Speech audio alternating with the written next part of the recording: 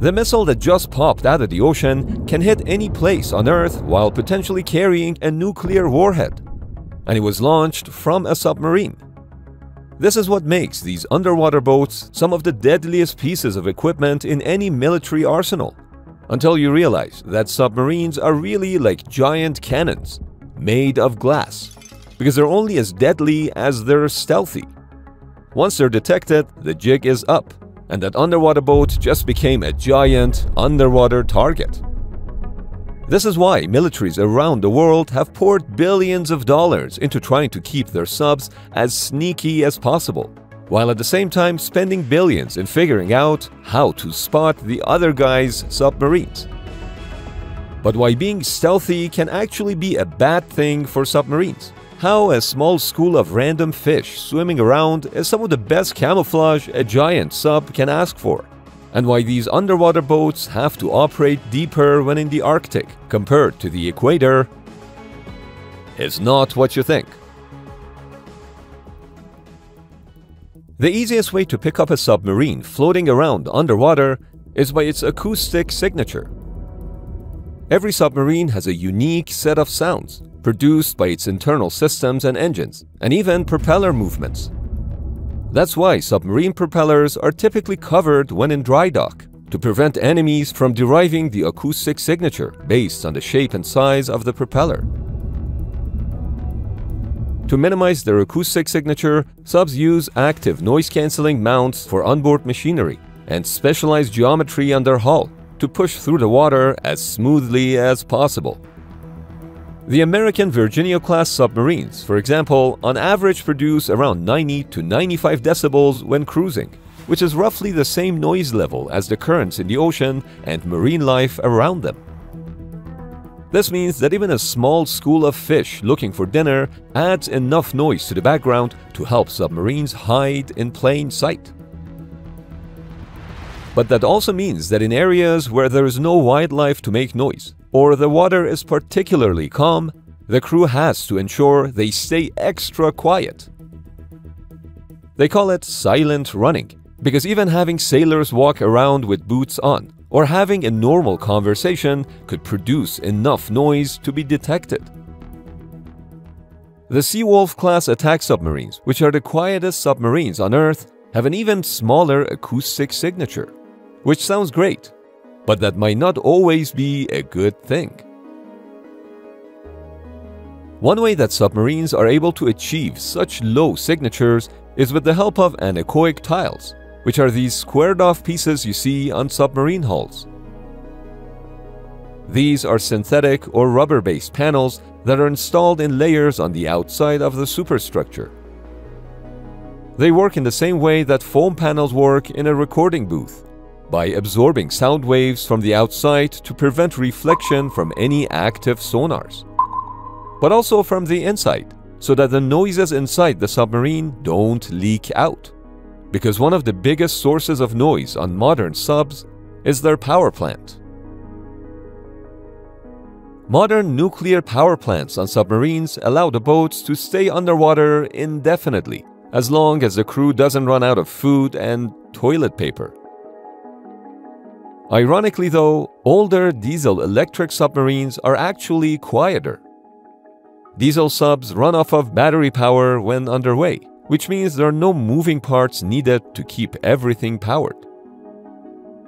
But diesel submarines have the massive downside of needing to surface periodically to charge the batteries with the diesel generators, which can take upwards of 8 hours in some boats. This, combined with the limited time the sub can operate before running out of fuel, means that most countries decide to just stick with the slightly louder nuclear option, if they can afford it. What's surprising though is that being too quiet can also be dangerous for a submarine. A submarine produces the same amount of noise even when it's operating in a particularly loud part of the ocean, with things like dense wildlife or strong currents. But if the anechoic tiles absorb most of the sound waves, they can create a quiet zone, known as an acoustic hole. This can be easily detected by passive sonar, as it comes across an unusually quiet space in the middle of all the ambient noise.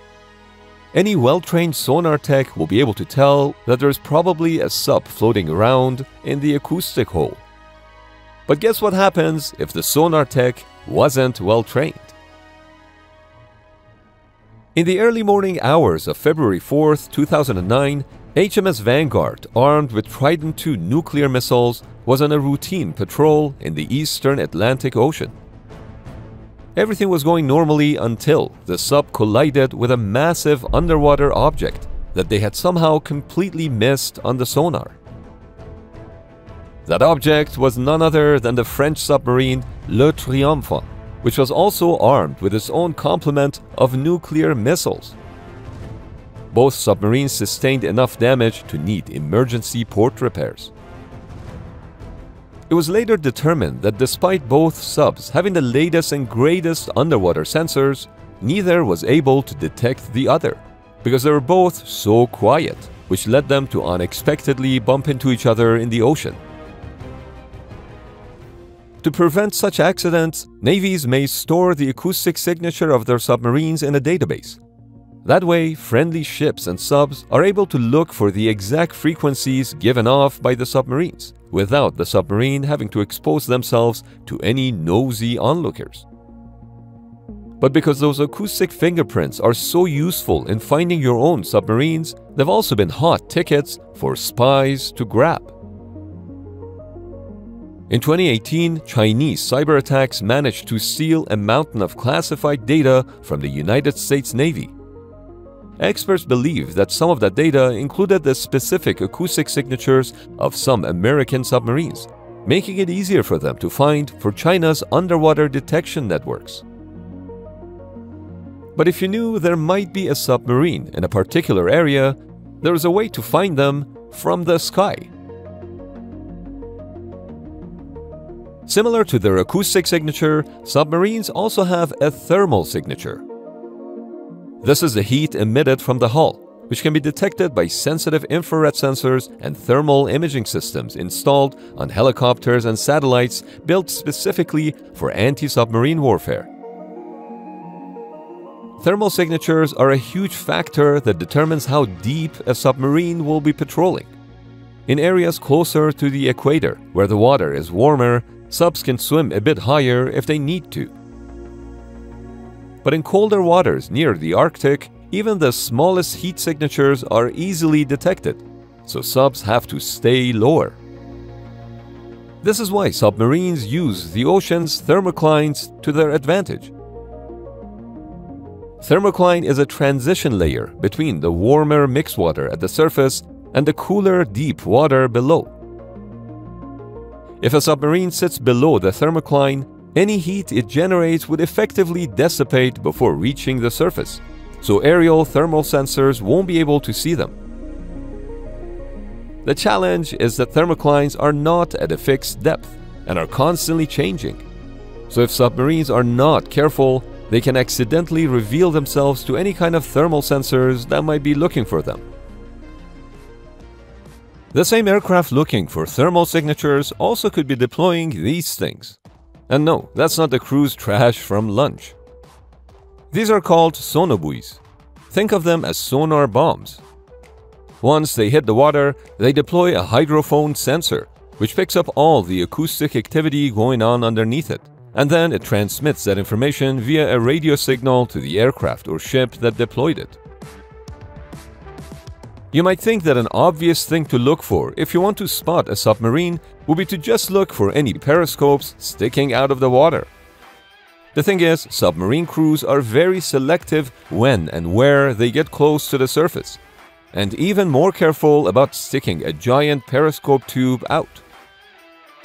Many countries will cover the periscope in radar-absorbent material, similar to a stealth fighter, that way, no one will be able to pick it up with any kind of sensor. To get around this, the United States is looking for ways to detect the small waves that are produced by a periscope rather than the periscope itself, meaning that future subs will probably need a way to reduce the wake they produce when they use it. But what happens once a submarine is detected? One of the biggest threats to subcrews are torpedoes, which have a suite of highly advanced sensors for tracking. These are able to track every bit of potential data that an enemy submarine produces, from sonars and magnetic signature to even the wake produced by the propellers. A modern torpedo can even tell the difference between a real submarine and a decoy designed to look like one.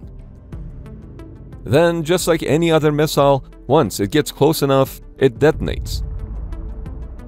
Keep in mind that being fast and sneaky means a submarine can't be bogged down by a bunch of heavy armor. So while they look fairly sturdy, they can actually be pretty fragile. Torpedoes these days are launched by pretty much anything above, on, or under the water. Anti-submarine helicopters come equipped with torpedo tubes as standard. Many modern warships have some kind of torpedo launching capability, and of course, submarines have torpedo launch tubes that flood with seawater before firing. Old school depth charges used to be a favorite method of taking out a sub. These would sink to a predetermined depth and then automatically explode, either destroying a sub or forcing it to come to the surface. Some navies, like Russia's, use something like the RBU 6000 which can spread a large number of depth charges around a large area. However, most modern submarines can now get around depth charges. But arguably, the best way to catch a submarine by surprise is with a mine. You might be thinking of something that looks like this, but these days you're more likely to find something like a captor mine, which sits anchored on the seafloor and fires a Mark 46 torpedo at any submarines floating around that shouldn't be there. The depth of the ocean may provide a lot of cover for submarines, but it also makes communications with a submarine almost impossible. The high-frequency signals that surface ships use for communications can transmit large amounts of data while being encrypted and resistant to jamming. That said, they cannot penetrate past the surface of the water. So how can submarines communicate with the outside world? Submarines could use low-frequency communications to get messages out. But these can be easily detected and tapped, so they only do it if they absolutely have to. The lowest end of radio comms is the extremely low frequency range or ELF, which is able to easily penetrate deep into the water. It's just that it carries so little information that it can only be really used for one thing launching nuclear weapons. Nuclear submarines are part of the TACAMO program, or Take Charge and Move Out. In the event that the United States decides to start lobbing thermonuclear warheads around, Specialized aircraft like the E-6 Mercury will fly over the patrol path of American nuclear subs, transmitting launch data on an ELF spectrum. American submarines looking for these signals will typically deploy a long trailing wire, which needs to be large enough to pick up on such long wavelengths. That said, these messages are one-way only. So once a boat receives the signal to start a launch sequence, that's it and they begin initiating a strike on their pre-designated targets. Luckily, that's a worst-case scenario. These days, submarines do a lot more spying, wire cutting, and deterrence than they do blowing up aircraft carriers and launching nukes. So more and more countries are investing into spotting them, like the Russian Harmony Detection Network and China's Underwater Great Wall, which looks for submarines in the South China Sea. That said, the submarine stealth technology continues to evolve. Because in the world of submarines, it's not speak now or forever hold your peace. It's stay quiet and forever hold your breath. Hey there, we are hiring.